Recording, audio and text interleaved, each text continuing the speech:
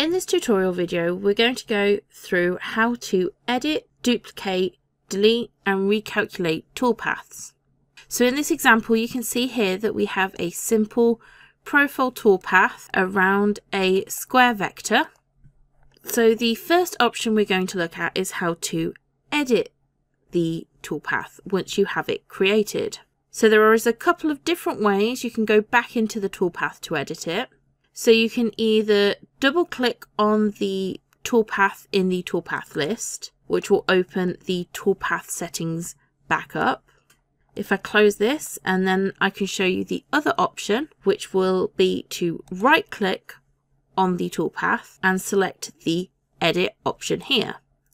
Again, this will also bring up the toolpath settings for this toolpath. So let's say, for example, we need to, instead of cutting part way through the material for this cut, we have decided we need to now cut all the way through the material. So we need to change the depth of this to 0.5 inches instead.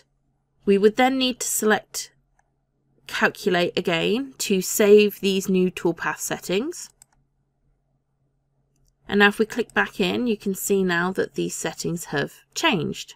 So I'm going to close this so the next option we're going to look at is to duplicate the toolpath. So if you want to duplicate the toolpath, you can right click on the toolpath in the toolpath list and select the duplicate option here, which will create a duplicate of that toolpath. Now for this, we don't really need the duplicate toolpath.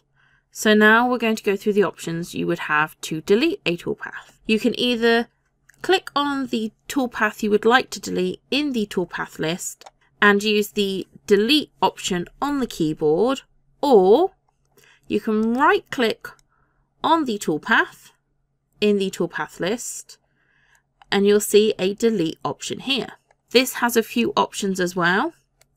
So you can either have the delete this option, which will delete the toolpath selected, the delete all invisible option, which will delete any toolpaths that are invisible in the toolpaths tab, the delete all visible option, which will delete all visible toolpaths in the toolpaths list, and the delete all option, which will delete all the toolpaths from the file.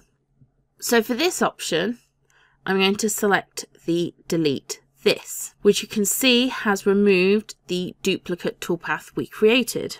We are now going to look at the options for recalculating the toolpaths. So if we go back over here to the 3D view and select this option so we can see the vectors in the 3D view. So let's say we're making a project, we've calculated the toolpaths and we've realized we've made this vector too small. And we now need to make it a 6 by 6 square instead. So I've edited the vector and then moved it back into the center, you can now see that the toolpath that was originally created is no longer correct for the vector as we have just edited it. So we will need to recalculate the toolpath. So we have a few options to do this. We can either right click on the toolpath in the toolpath list and you'll see the recalculate option here which also has a few options. So you have recalculate, which will just recalculate the toolpath you have selected.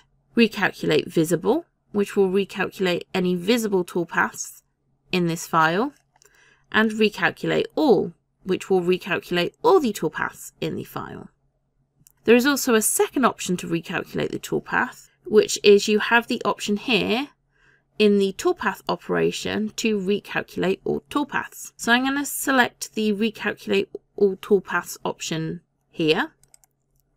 You'll then see this pop up saying that all toolpaths have successfully been recalculated. So we'll click OK. And you can now see that the toolpath we had originally created has been recalculated to the new vector size and position.